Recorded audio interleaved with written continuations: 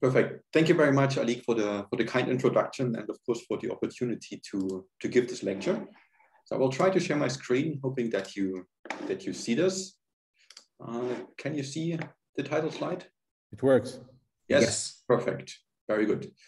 So then uh, there we go. So as um, um, as Alik already mentioned, I will give a presentation, a lecture about seismology.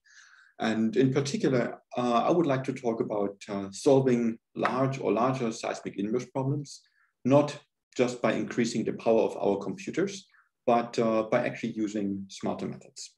And uh, the work that I will present, of course, hasn't been done all by myself, but it's a close collaboration with my colleague Lars Gebraad, Dirk Philip van Herwaarden, Andrea Zunino, Solvi Thrastarson, Christian Böhm, and Martin van Driel. The, central theme of this lecture is really the effort to constrain the structure of the Earth using earthquake data. And, uh, and since I think not all of you are seismologists, I would like to start with, um, with just a, a small introduction into, into this field. So those earthquake data are generated by earthquakes. And what you see here is a numerical simulation of such an earthquake. It's, uh, it's in fact a 2011 Tohoku earthquake. It had a magnitude of 9.1. And uh, literally within seconds, this earthquake radiated or liberated an energy of about 4 to the power of 22 joule and uh, so this, this, this is an amount of energy that we can't imagine. And it corresponds to roughly 80 times the world energy consumption. So, so within, uh, within a few seconds, this earthquake liberated energy that would have covered the world energy consumption for about 80 years. So, so a very long time. Now, this earthquake, of course, was, uh, was big enough to be recorded globally all around the Earth. For example, at the, uh, at the Black Forest Observatory, which is located in southern Germany. So, uh, so it's here at the position of the red star, and it has an epicentral distance from the earthquake of 83.3 degrees. So roughly a quarter around the Earth.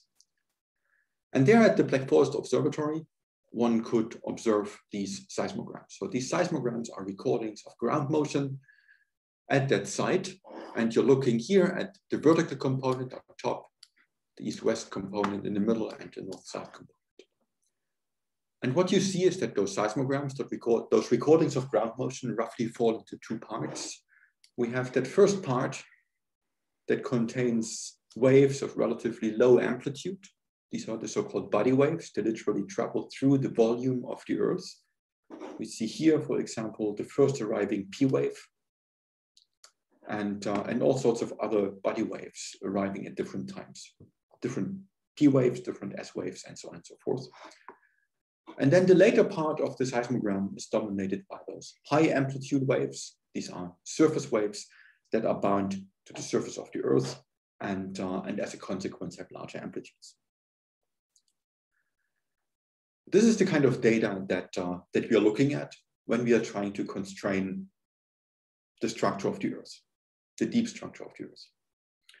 Now, a few words about the actual sources, which are those earthquakes.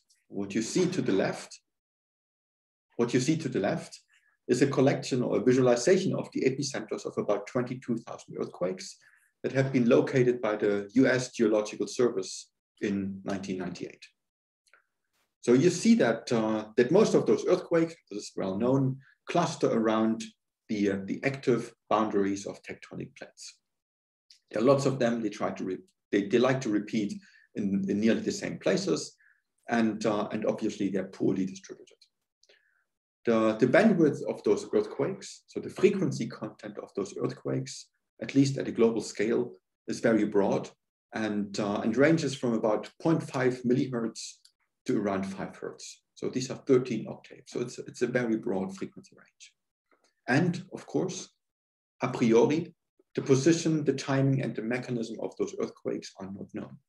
And this has an important consequence for the inverse problem that we are trying to solve, because it is in fact a coupled source and structure problem. Both the source and the structure need to be constrained on the basis of those data. Now, what about the receivers that we are using? Those receivers are typically called seismometers. They also come under, under different names. And they are poorly distributed as well. What you see here is, uh, is actually the, the ray coverage or the station coverage of North America and the North Atlantic. So all the beach balls that you see are earthquakes and all the black triangles are seismic stations, seismometers that have been installed. And you see that uh, most of those seismometers are in rich industrialized countries, but there are very few in, for example, Africa, Eastern Europe, the Arctic, and of course, there are very few in the oceans. The few that you apparently see in the oceans, they're actually sitting on islands. So they are poorly distributed as well. They have very variable characteristics. So they have different recording bandwidth and they suffer from different kinds of side effects. And, uh, and the recording bandwidth actually quite often covers the observable bandwidth. So this, this is a quite nice feature. And currently, I would say that the number of seismometers that are openly, freely accessible at a global scale is on the order of about 10,000. This sounds a lot, but it actually isn't because, of course, the surface of the Earth is very large and the distribu distribution is very heterogeneous. Now, what about the medium that we are interested in? We are interested in the, in the structure of the Earth. And, uh, and the Earth is uh, it's not a simple medium. In fact, it is, uh, it is viscoelastic and anisotropic. So it suffers from attenuation, from the conversion of, uh, of kinetic energy into heat. The Earth rotates, obviously, which complicates wave propagation, and it, it is also self-gravitating. And uh, obviously, also, the Earth has irregular topography. It has oceans and a fluid outer core. And those fluids part, fluid parts need to be accurately coupled to the solid parts of the Earth. Of course, so this, this suggests, or it, it's evidence for the fact that the Earth is a very complex medium. But when we solve an inverse problem, not all of this complexity may actually be relevant. So the necessary complexity really depends on the amount and type of data that we're interested in, but also on the aspect of Earth structure that we would like to constrain. Most frequently in, in global seismic tomography, in global seismic imaging, we are interested in the P velocity, so the velocity of compressional waves, but also in the velocities of SH and SV, SV waves, which are shear waves with horizontal and vertical polarization. Now, traditionally, this, uh, the seismic tomography has been based on the measurement of travel times and on the measurement of ray theory. So what one would typically do, one would take such a recording here and then pick the arrival times of a bunch of waves. So for example, of those compressional waves or of those shear waves that are arriving here.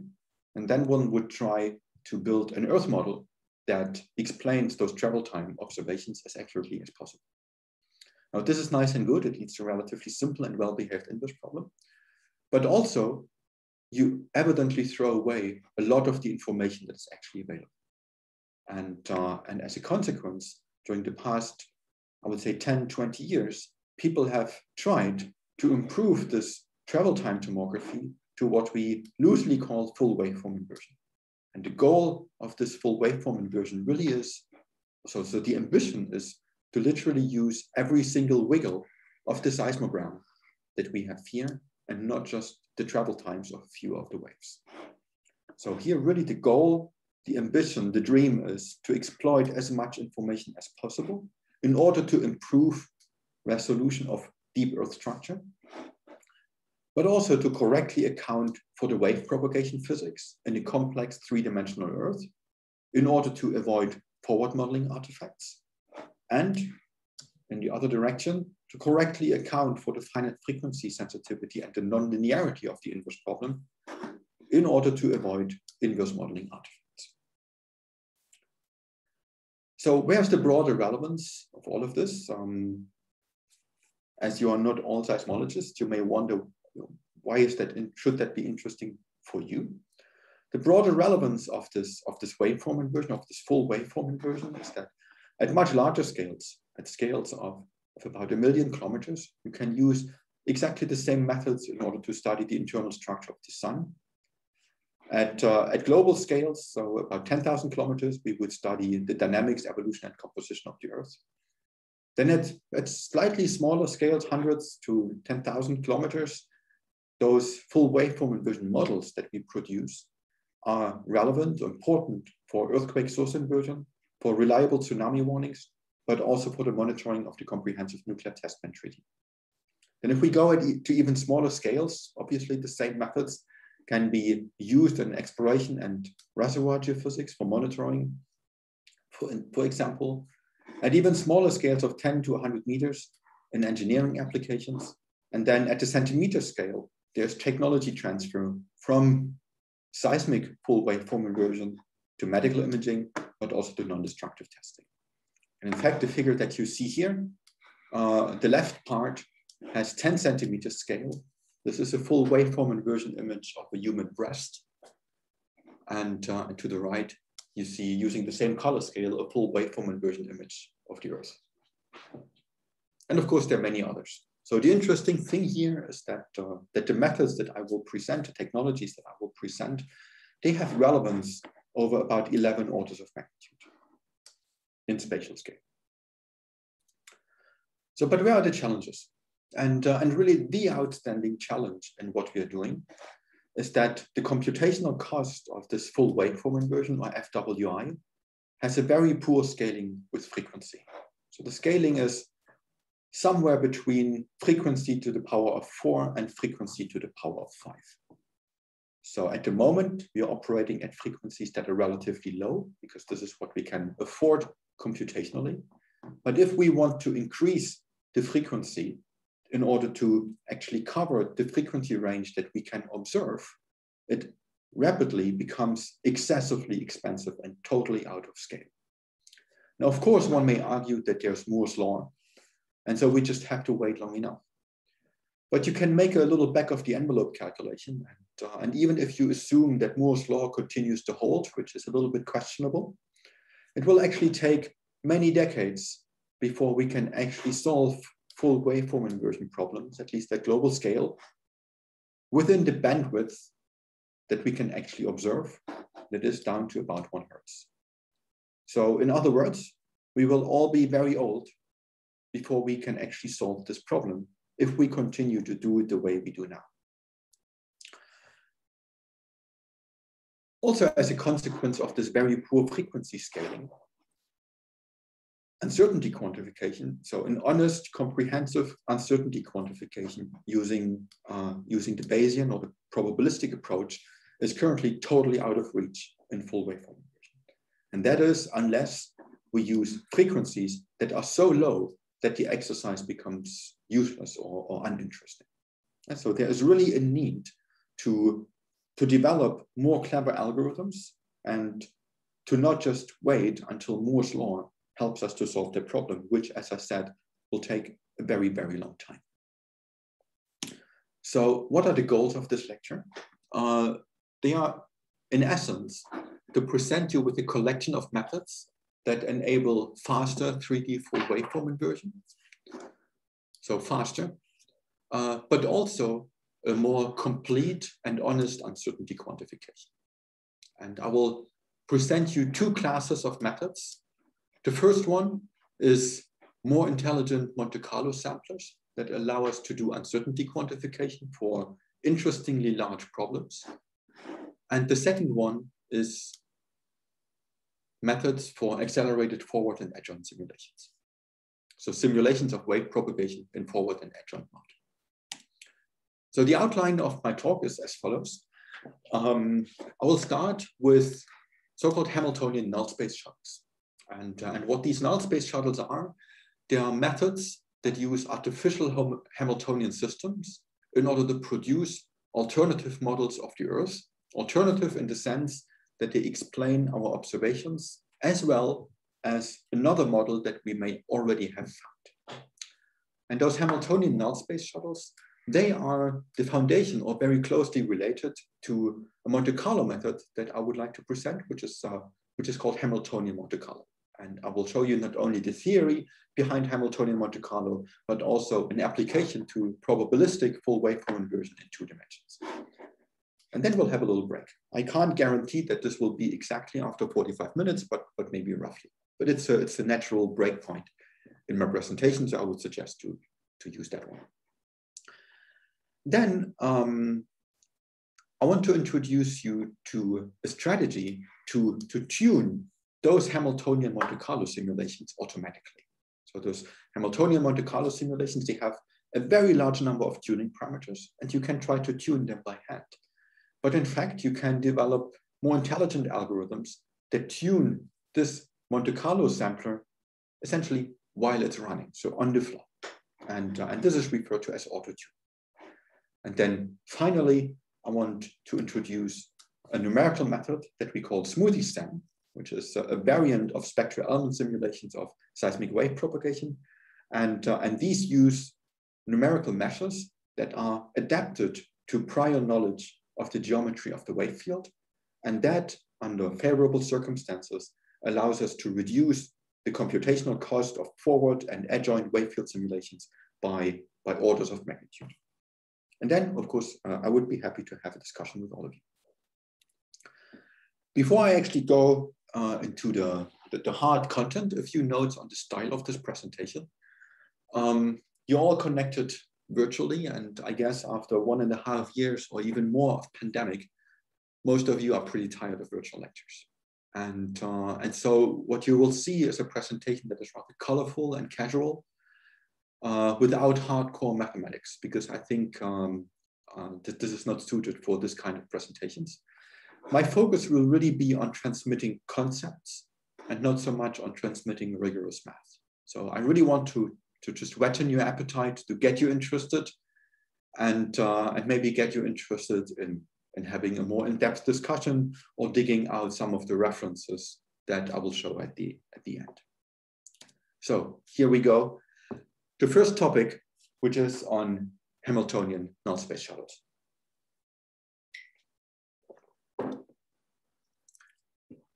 So first, a little bit about the preparation and the problem statement. What, what is this all about? What, what are the goals? And, uh, and the first thing I want to talk about, I need to talk about, is the notion of the, of the effective null space. So the setting is as follows. Imagine we have some misfit functional chi and that misfit functional measures the discrepancy, the difference between data that we have observed and data that we have computed for some model of the Earth. It need not be a seismological model. And of course, that misfit depends on M, which is a certain model of the Earth. It can be a distribution of the P wave speed and S wave speed in the Earth, or of some electrical or magnetic properties, and so on and so forth. And we assume that we have already found a model of the Earth that we call M hat, a model of the Earth that we actually find acceptable. So that explains our observations to within the observational errors. So we have an acceptable model and we don't bother at the moment where that acceptable model is actually coming from.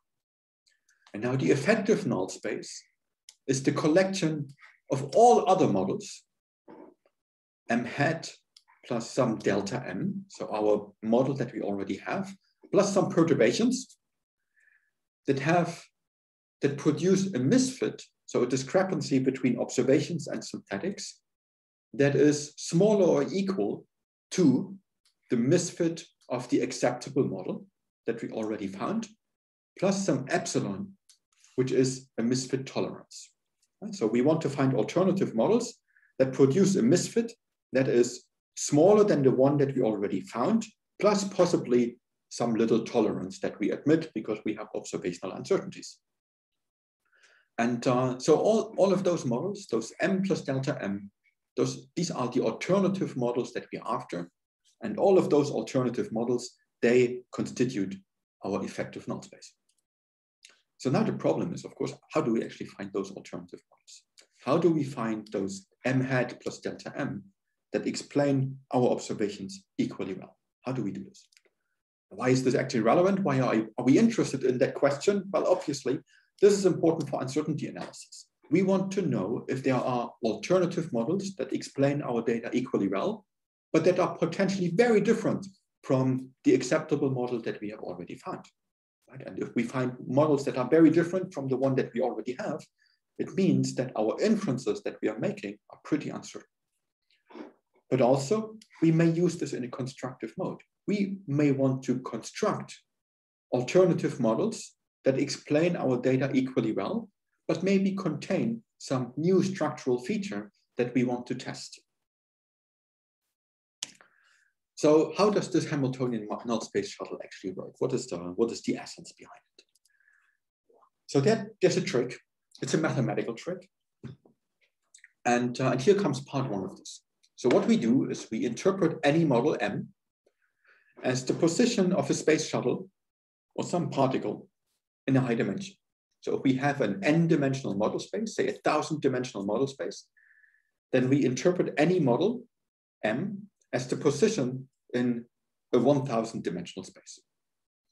And then what we do, and at this point this may seem a little bit weird, we assign a potential energy to that particle, to that space shuttle.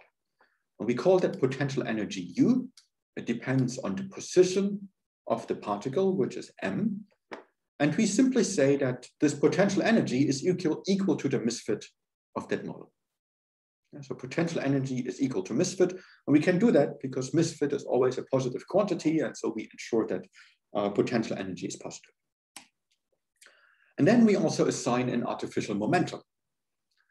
So this momentum P is totally invented. It's an, it's an auxiliary variable.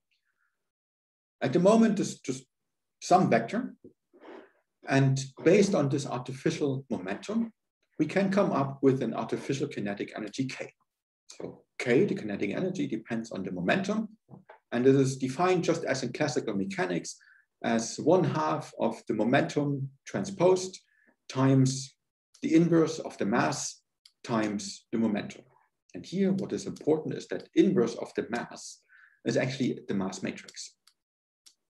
And so it's, uh, it's, uh, it's a generalization of the scalar mass that we are used to.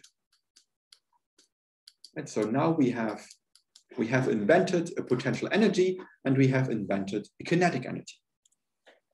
And, uh, and then we say that uh, we have some initial momentum. So just imagine that that, that space shuttle is sitting in its uh, in, in a certain position m, and then we say at that position it has not only uh, an initial potential energy, but it has an initial momentum.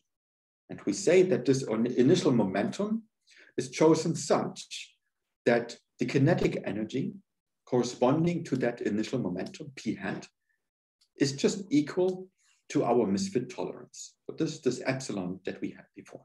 So if we go back, so here we have our little misfit tolerance over here. And we say that we choose the initial momentum such that the initial kinetic energy is just equal to that tolerance.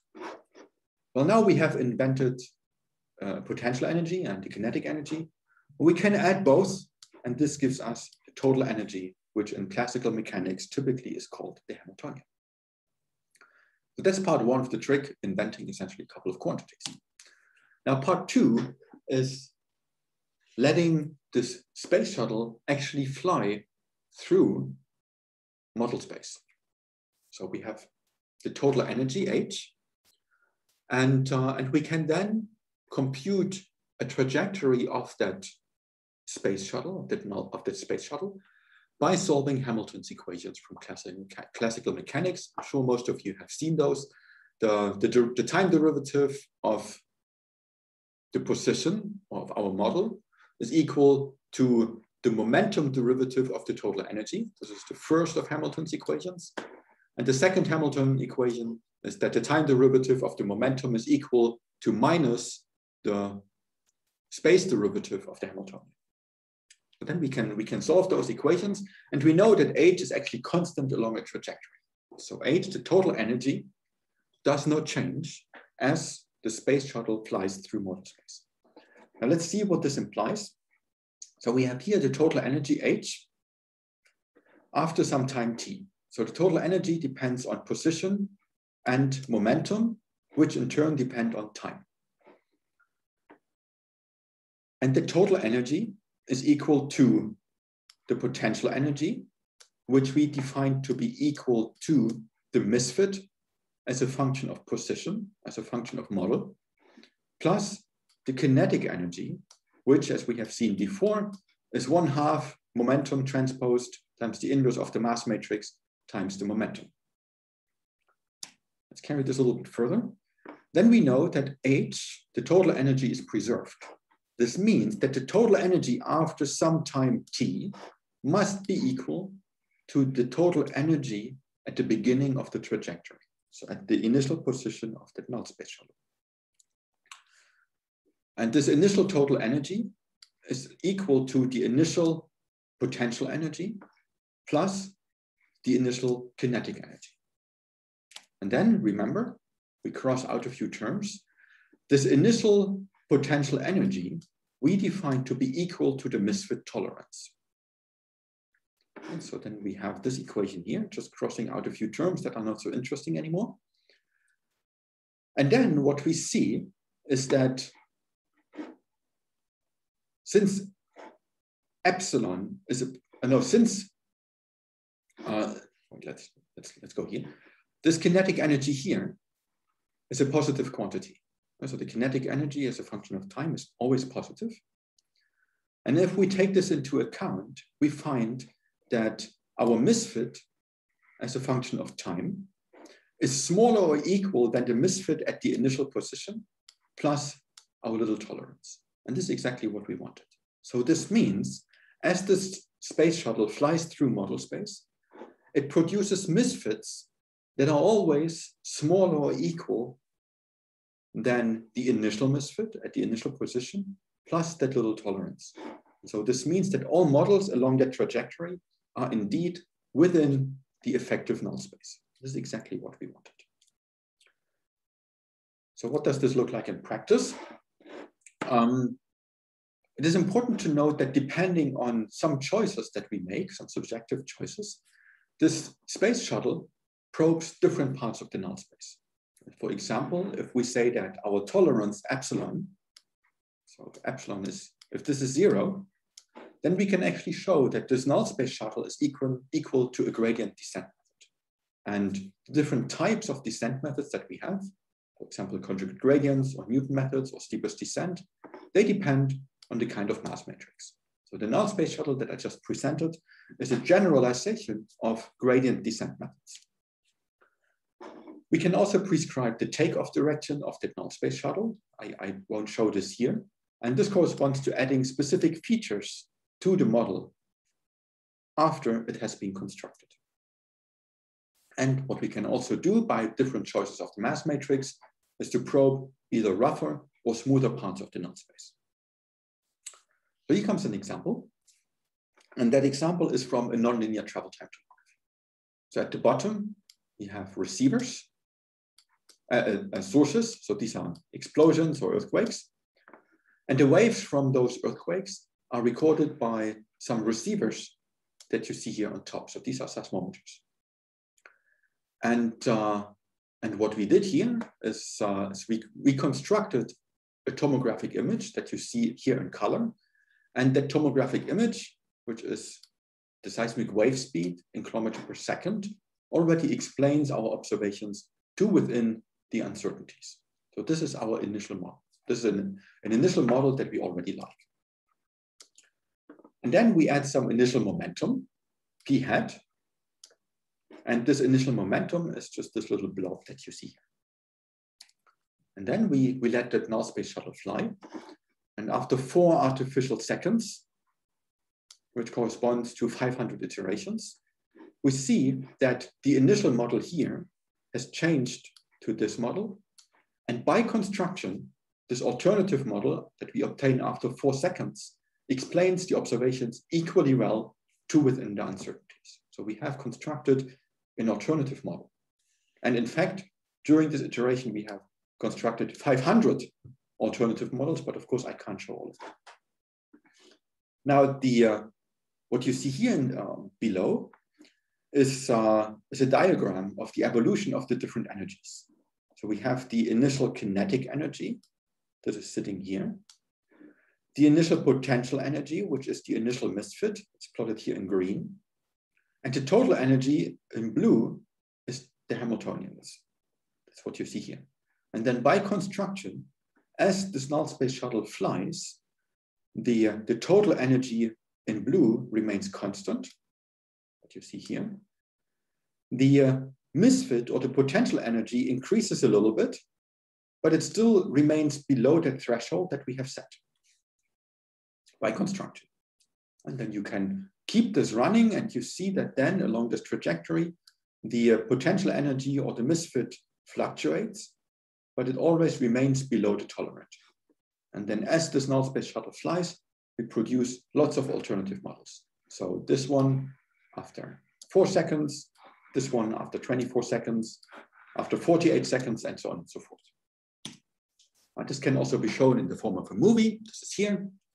So every little snapshot that you see in this movie is an alternative tomographic model that explains the observations just as well as the model that you have seen at the beginning. And so you have a mechanism to produce literally uh, thousands, hundreds of thousands of alternative models. So the point here is, so some preliminary conclusions, the point is that we can explore the efficient null space of even of this nonlinear inverse problem and produce alternative models without Monte Carlo sampling. So it's a lot more efficient than Monte Carlo sampling. The whole thing rests on the somewhat counterintuitive construction of an artificial Hamiltonian system, where the data misfit corresponds to the potential energy, and the misfit tolerance that we admit corresponds to the kinetic energy. We have, or I have explained that this is a hybrid between gradient descent and Monte Carlo methods. In fact, if the tolerance, this misfit tolerance epsilon is zero, then this null space shuttle becomes a gradient descent method.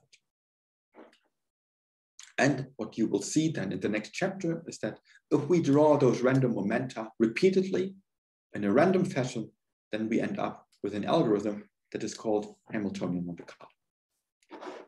Um, we have different user-defined modes of operation of this null space shuttle.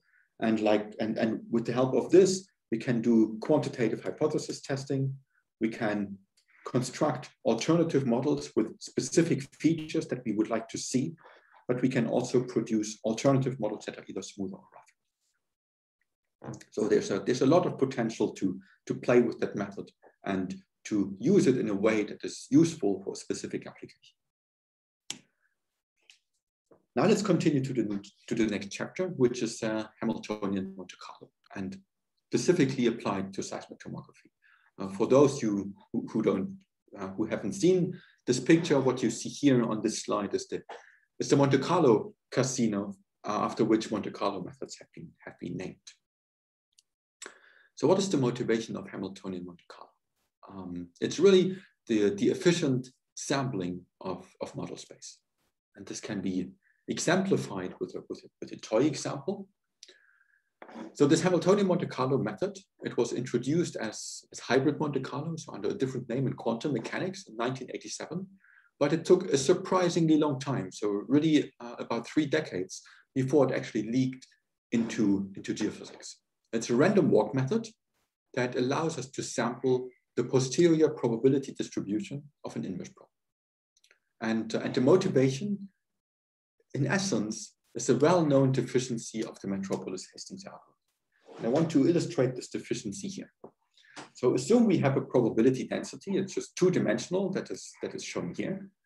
And we want to explore this two-dimensional probability density using, Hamilton, using Metropolis Hastings. Um, essentially, we have two choices. So we can make small steps, baby steps through model space. This has the advantage that almost all of the steps will be accepted. But on the other hand, our exploration of model space is very, very slow. Now then, in order to accelerate model space exploration, one may think that we can do just bigger steps, as shown in this diagram.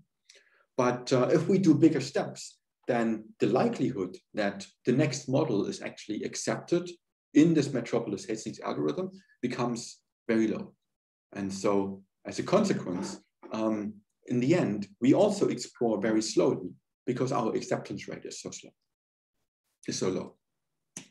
So Hamiltonian Monte Carlo tries to fix this problem by basically taking advantage of derivative information. And, uh, and this allows Hamiltonian Monte Carlo to make both long distance moves and have a high acceptance rate.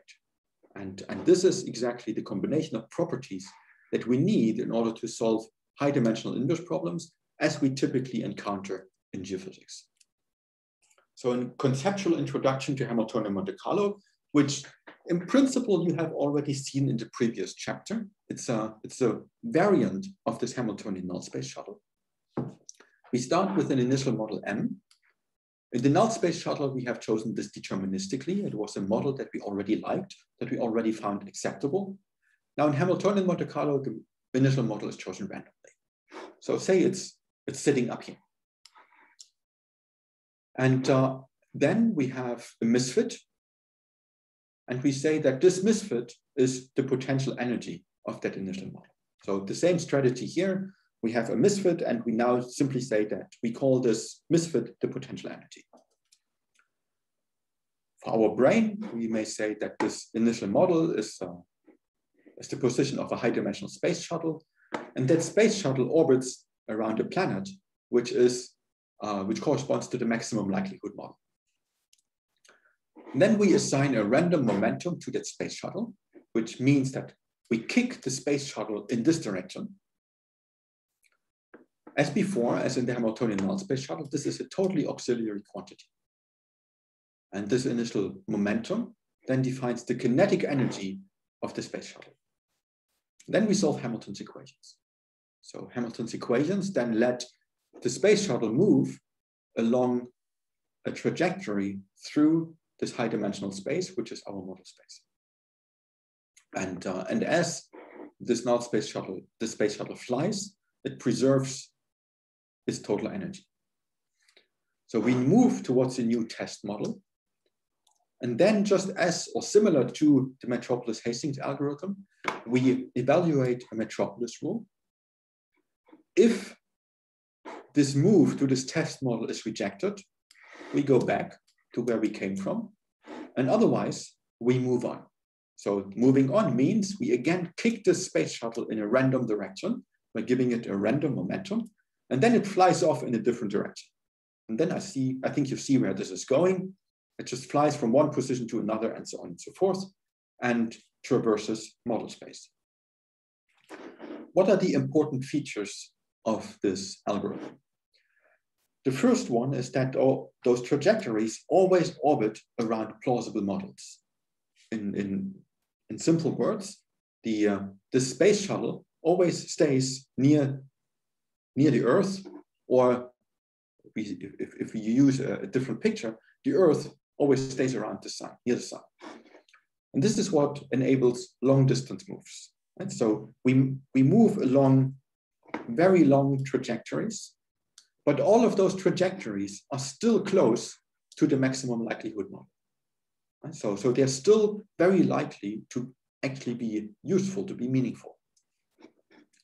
So we have we can have long distance moves, and as a consequence, we have fast model space exploration. We can move fast, and those long moves, uh, we can move a long way, and those long distance moves are actually being accepted with a high probability. A disadvantage may be that we actually require derivatives of the forward problem. So derivatives of the, uh, of the potential energy with respect to our model parameters, because this derivative is needed in the solution of Hamilton's equations. But in fact, it turns out that this is a very small disadvantage because we can compute those derivatives very efficiently using adjoint techniques. It's pretty doable. So uh, towards applications, how is this useful?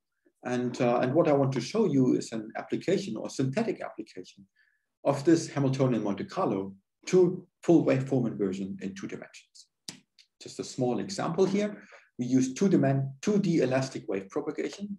Behind that is a classical staggered grid finite difference method with a maximum frequency of 50 hertz.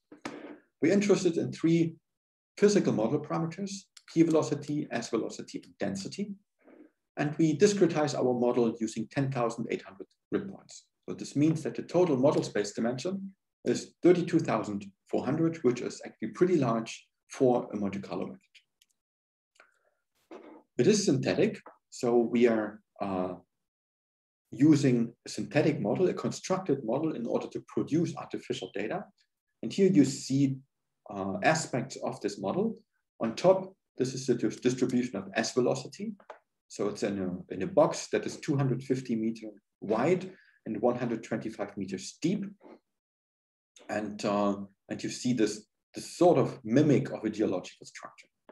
All the sources are here at the bottom and all the black triangles near the top, near the surface are the other receivers.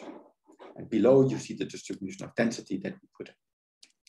And then using this Hamiltonian Monte Carlo sampler, we can produce many aspects of, uh, of the posterior distribution. For example, the mean value of S velocity.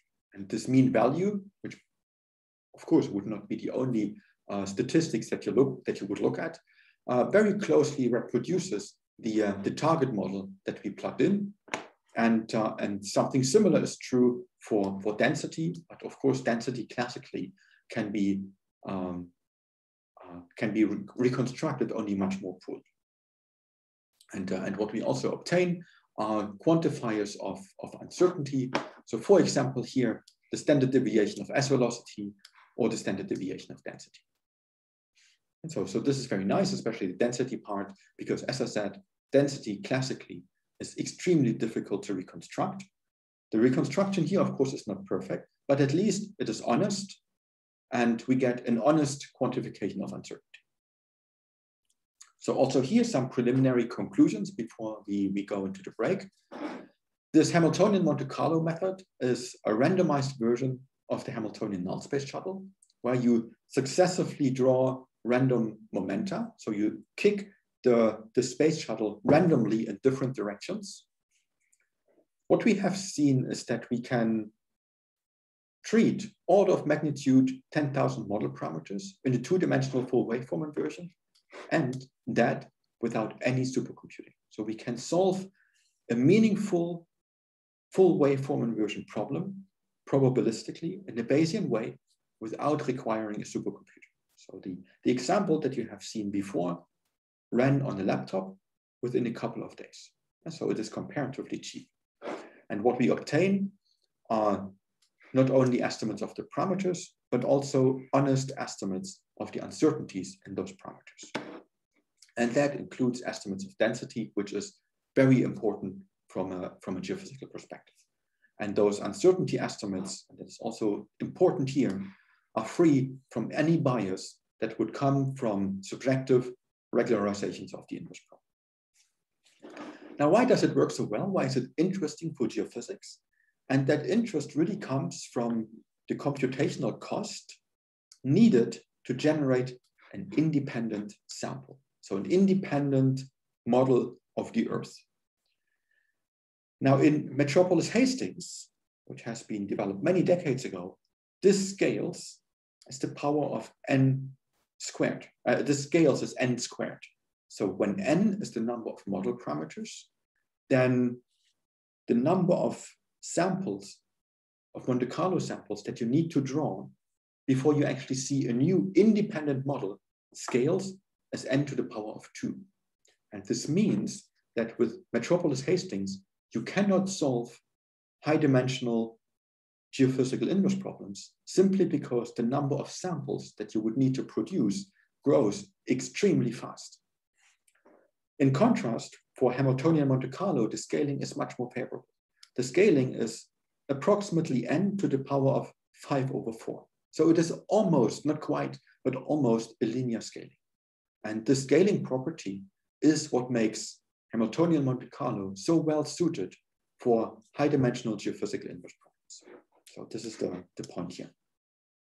Now what you see, what you will see in the next chapter after the break is really uh, more in-depth about the generation of those, of those independent samples. How can we even accelerate this? And how can we optimize the, uh, the generation of those, uh, of those independent samples? And, uh, and, as I said, this will come after the break, which I think is, is about 10 minutes. And, uh, and this will then be about this topic about auto-tuning Hamiltonian Monte Carlo.